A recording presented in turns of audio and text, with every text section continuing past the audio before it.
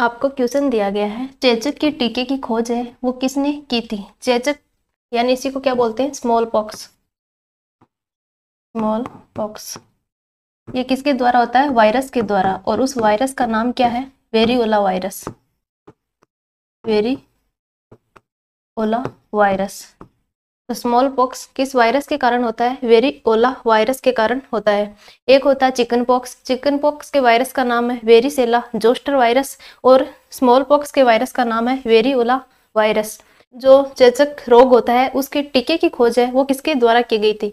Alexander Fleming इन्होंने first antibiotic खोज first antibiotic की खोज की थी और उस एंटीबायोटिक का नाम क्या है? पेनिसिलिन। तो पेनिसिलिन पेनिसिलिन की खोज है, वो किसके द्वारा की गई थी? अलेक्जेंडर फ्लेमिंग के द्वारा की गई थी।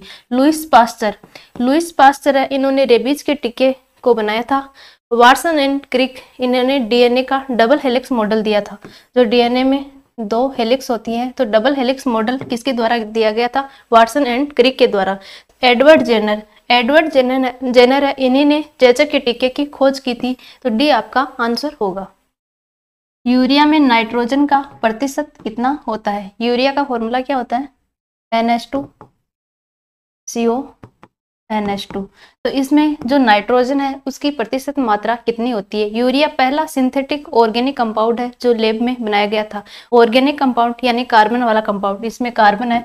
तो पहला सिंथेटिक ऑर्गेनिक कंपाउंड कौन सा है? यूरिया। और इसको किसने बनाया था? वो हल्लर ने। वो हल्लर के द्वारा बनाया गया था। और यूरिया इसको हम खेतों में, खाद के रूप में काम में लेते हैं। तो इसमें नाइट्रोजन का जो प्रतिशत होता है, वो कितना होता है? छियालीस परसेंट इसमें नाइट्रोजन होती है। गोबर गैस में मुख्यतः पाया जाता है। गोबर गैस में मुख्यतः कौन सी गैस है? वो सर्वाधिक पाई जाती है। गोबर गैस, इसी को क्या बोलते हैं? बायोगैस। बायोगैस। बायोगैस कैसे बनाते हैं? गोबर वगैरह है, उनको खड्डा खोद कर उसके अंदर डाल देते हैं और ऊपर से उसको कवर कर देते हैं ताकि उसमें ऑक्सीजन ना पहुँचे। यानी बायोगैस जब बनाते हैं तो उसमें एवाइवस ऑप्शन होता है ऑक्सीजन की एब्सेंस में होता है तो उसको ऊपर से कवर कर देते हैं। कुछ दिनों बाद आप देखते हैं तो उसमें कुछ गैसों का मिक्सर है, वो आपको प्राप्त होता है। तो इसी को क्या बोलते हैं? बायोगैस बोलते हैं। और बायोगैस को जब जलाते हैं तो धुआँ नहीं देती है वो। तो स्मोक फ्री गैस पूछा जाए या धुआँ रहित गैस पूछा जाए तो वो कौन सी गैस होती है? बायोगैस होती है। और इसमें मुख्यतः चार गैसों का मिक्सर होता है। Methane C H four methane carbon dioxide nitrogen और हाइड्रोजन ये गैसें होती हैं। और मुख्य रूप से कौन सी गैस, सर्वाधिक कौन सी होती है? मीथेन गैस होती है और दूसरे नंबर पर कार्बन डाइऑक्साइड गैस होती है।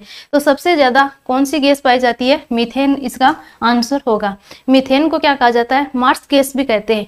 और जो जुगाली करते हैं ना जानवर तो जब वो जुगाली करते हैं तो उनके माउथ से कौन सी गैस रिलीज़ होती है? मीथेन गैस ही वो निकलती है। और इसके अलावा जो गाय, भैंस वगैरह हैं, वो ताज़ा गोबर करती हैं तो उसमें भी सबसे ज़्यादा कौन सी गैस होती है? मीथेन गैस होती है। और दलदली एरिया है, उसमें भी मीथेन गैस पाई जाती है। आपको मीथेन के अलावा मार्स गैस है, वो भी ऑप्शन में मिल सकता है। तो ये इतनी बातें आपको ध्यान में रखनी है। चॉकलेट स्वास्थ्य के लिए हानिकारक हो सकती है।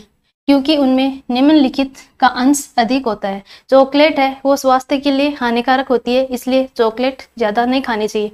क्योंकि ज़्यादा चॉकलेट खाने से आपके फेफड़े हैं, वो उनमें इन्फेक्शन हो जाता है।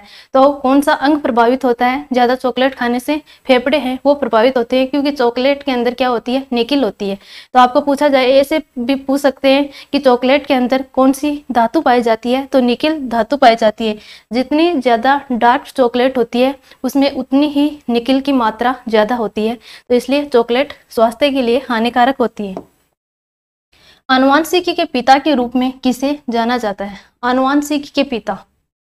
अनुवांशिकी किसे कहते हैं? जो वंशानुगत लक्षण है, वो एक पीढ़ी से दूसरी पीढ़ी में जो जाने की प्रक्रिया है, स्थानांतरित होने की प्रक्रिया उसी को क्या बोलते हैं? जेनेटिक्स या आनुवांशिकी बोलते हैं। तो इस आनुवांशिकी के पिता के रूप में किसे जाना जाता है? ग्रेगर जॉन मेंडल को जाना जाता है। तो बी इसका आंसर होगा। Norman Borlaug. नॉर्मन बोरलॉग को हरित क्रांति के पिता कहा जाता है। विश्व में हरित क्रांति के पिता। विश्व में हरित क्रांति के पिता। इसे कहा जाता है नॉर्मन बोर्लो को कहा जाता है। एम एस स्वामी नाथन इनको भारत में हरित क्रांति के जनक कहा जाता है। भारत में हरित क्रांति के जनक एम एस स्वामीनाथन और विलियम बेटसन या डब्लू बेटसन। इनके द्वारा जेनेटिक शब्द है, वो सबसे पहले दिया गया था। तो जेनेटिक शब्द है, वो तो किन के द्वारा दिया गया था? विलियम बेटसन के द्वारा। और अनुवांशिकी जेनेटिक्स के पिता किसे कहा जाता है? ग्रेगर जॉन मेंडल को जिन्होंने मटर के पौधे पर प्रयोग किए थे। रक्त का शुद्धि किस अंग में होता है? रक्त का शुद्धिकरण प्यूरिफिकेशन है, वो किस अंग के द्वारा किया जाता है? हृदय के द्वारा रक्त को पंप किया जाता है। गुड्डा या किडनी रक्त को छानने का कार्य किसके द्वारा किया जाता है? गुड्डा या किडनी के द्वारा किया जाता है और फेफड़े हैं, इनके द्वारा रक्त का प्यूरिफिकेशन या शुद्धिकरण किया जाता है। तो सी आपका आंसर होगा। सोना का लेटिन नाम क्या है? सोना धातु है, उसका लेटिन नाम क्या होगा? अर्जेंटम अर्जेंटम यानी एजी सिल्वर होता है, उसका लेटिन नाम क्या होता है? अर्जेंटम नेट्रियम सोडियम सोडियम का लेटिन नाम नेट्रियम पल्बम पीबी लेड इसी को क्या बोलते हैं? लेड या सीसा तो लेड या सीसा का जो लेटिन नाम है, वो क्या है? पल्बम है और ओरम इसी को क्या, किसे लिखते हैं? एयू से। तो एयू यानी सोना। तो सोने का लेटिन नाम क्या होता है? ओरम होता है। तो डी इसका आंसर होगा। अम्लीय वर्षा में जल का पीएच कितना होता है? पीएच की अवधारणा आपको क्या दे रखा है? पीएच नाम। तो पीएच की अवधारणा किसके द्वारा दी गई थी? सोरेनसन नामक वैज्ञानिक ने। पीएच की अवधारणा दी थी। उन्होंने एक स्केल दी जिस पर ज़ीरो से चौदह तक अंक दर्शाए हुए होते हैं। उसको क्या बोलते हैं? पीएच स्केल बोलते हैं। अगर ज़ीरो से सात के बीच में अंक है, इसका मतलब अम्लीय पीएच होगी। और सात पर उदासीन। और सात से चौदह के बीच में किसी पीएच का मान आता है, इसका मतलब वो क्षारीय पीएच है। तो पीएच की अवधारणा किसके द्वारा दी गई थी? सोरेंसन नामक वैज्ञानिक ने दी थी। तो अम्लीय वर्षा में जो जल का पीएच होता है, वो कितना होता है, ये पूछा गया। अम्लीय वर्षा होती क्या है? कारखाने वगैरह हैं। या कोई वाहन वगैरह है उनसे जो गैसें निकलती हैं जैसे NO2, SO2 ये गैसें हैं वो निकल कर वायुमंडल में फैलती हैं। तो वायुमंडल में जो नमी है उसे उस नमी से क्रिया करके ये गैसें किसका निर्माण करती हैं? एसिड का निर्माण करती हैं।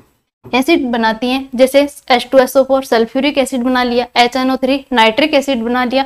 तो जब वर्षा होती है तो ये एसिड हैं, वो पृथ्वी पर आ जाते हैं वर्षा जल के साथ। तो इसी को क्या बोलते हैं कि अम्ल वर्षा हो गई। यानी अम्ल की मात्रा है, वो ज़्यादा पृथ्वी पर पहुँच रही है, उसी को क्या बोलते हैं? अम्ल वर्षा बोलते हैं। और ये अम्ल वर्षा है, ये फ़सल वगैरह है, भवन वगैरह है, इनको हानिकारक, इनके लिए हानिकारक होती है, इनको नुकसान पहुँचाने का कार्य करती है। सामान्यतः वर्षा का जल है, उसकी पीएच का मान कितना होता है? पाँच होता है। जब पीएच का मान 5.6 से कम हो जाता है तो उसको क्या बोलते हैं? अम्लीय वर्षा बोलते हैं। तो आपका आंसर कौन सा होगा? 5.6 से पीएच का मान कम हो जाता है तो उसी को क्या बोला जाता है? अम्लीय वर्षा बोला जाता है।